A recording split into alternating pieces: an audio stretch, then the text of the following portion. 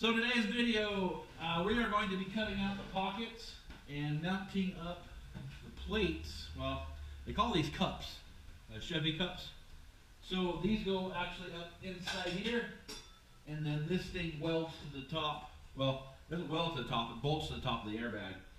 Uh, I apologize for not being able to get this all in a video last week, mostly because uh, it was a long video doing the bottom plates. So if you didn't see that video, you can look down the link that's below and get that uh, video there as well. So what we're going to show you guys how to do today is to cut this section out here, get it fitted up, and then we're going to take this piece, which I've already welded the bolt onto the plate, which is pretty self-explanatory. You just want to make sure that it's as level as possible. And that's going to go up like that. And then this has to be offset just a little bit.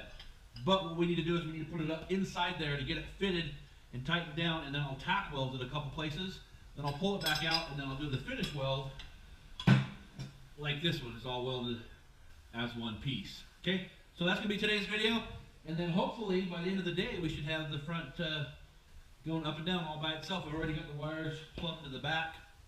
So let's go ahead and uh, get started. So I took you over here to the other side. I want to show you what needs to be done. So I basically on this other side, I've cut it out. Here's our air line coming out. I've cut it out so that this pocket, well, I shouldn't say it's a pocket. They're called cups. So when you're looking for them online, that's what you're looking for. This goes up into there, and then it just, it sits kind of like this, but it goes up a little bit higher. It kind of comes through that hole right there. So that's what we got to do. I got to get everything fitted, and then the airbag goes here on the bottom, and then this plate goes on top like that, and then that's kind of what gives us our thing. So what I'm going to have to do now is I'm going to take you over to the other side, and we're going to cut this piece out right here, because every Chevy, if you're using the stock subframe, you have to cut this out to get your bag up. Because when you pancake out, when this goes all the way flat, that bag has to have somewhere for that to go. So let's take you over here to the other side, and we'll get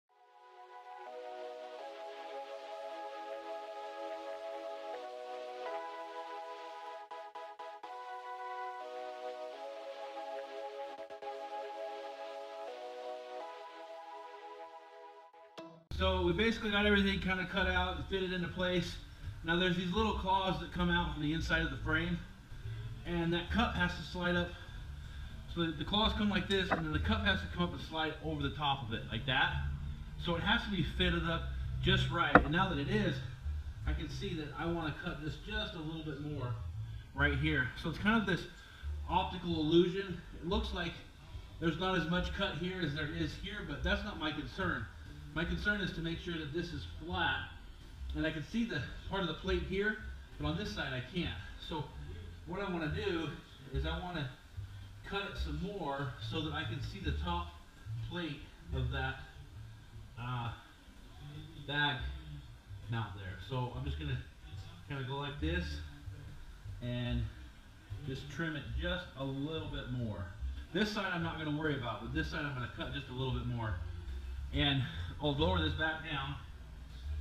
And what I did is I fit the bolt in the bottom so that the bag actually is, you know, positioned, but it's just loose because this has to go right up in this mounting plate.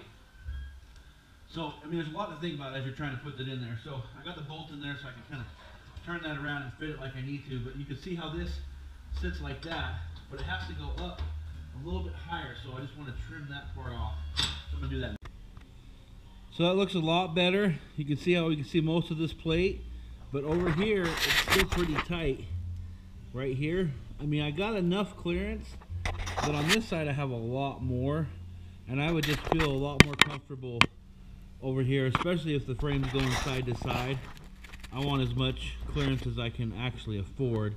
This one I cut a lot more off of. But this right here looks pretty level. So I think I'll, I'll be okay with that. I got the cup centered where it needs to be. So I'm going to trim this side off right here a little bit, and then I'll just come back in just a couple minutes. So there it is. I trimmed this off quite a bit more. Got a lot more clearance, and obviously on this side. And the plate is level with the bag. Now the biggest concern on these is to make sure that this plate and this plate are as level or as parallel as possible. Now the frame itself, if you get back and look at the frame, it looks like this side's cut out more than this side. But that's not a concern. What's the most important is to make sure that this bag is completely parallel to the control arm, which if you stand back here, it is. So don't worry about cutting off too much on this side and not enough on this side. That's what you're looking for.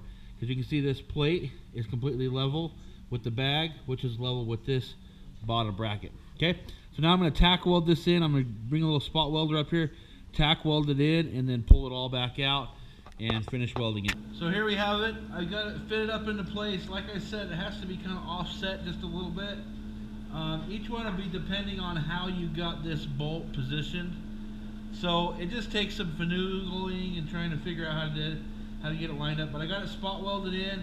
Now I'm just going to kind of go through it and kind of finish welding it.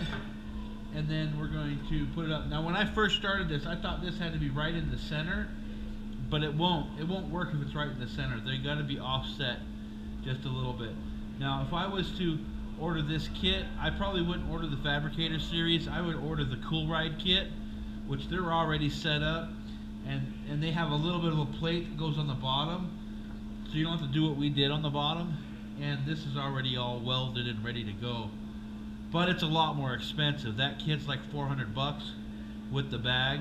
This kit cost me 60 bucks. So all just depends on how much money you want to spend. I'm to go ahead and finish welding this up, and then I'll come back over and we'll show you what it looks like uh, mounted up.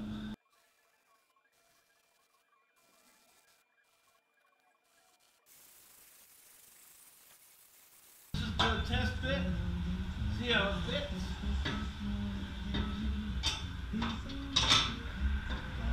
Okay, looks nice and level, just like it needs to be. I put the bolt on and bolted it all back up. Okay, so we got it all mounted in there, got it all bolted up, ready to go. So I'm just gonna do a little test before I put the spindle and the upper control arm on, just to kind of see how it does. I'm filling it up with air right now. Now I've got a regulator on here, so it's not allowing so much pressure in it.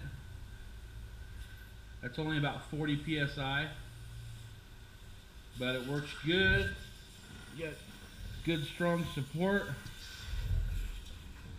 and then I'll lower it down. Try that again. You start seeing it fill up with air. And there it goes. So it works good. Alright, completely laid out. We'll put the spindle back together, that'll be it. Okay, so this side's all done. We've out that pocket and got the uh, plate built. So we did, a, did this in two videos. I'm gonna go ahead and put the other side together and get them both aired up. Now I've already got bags in the back. I'm gonna make a little distribution block there in the back so we can get the whole thing off the ground and then we'll bring the body back in, fit the body, and then we're gonna do the Z-notch in the front where we cut the bottom part to lower down that core support. So that'll probably be next week's video. So please rate, subscribe, and comment. And it looks like my wife is calling me on the phone, so I gotta go. We'll talk to you later.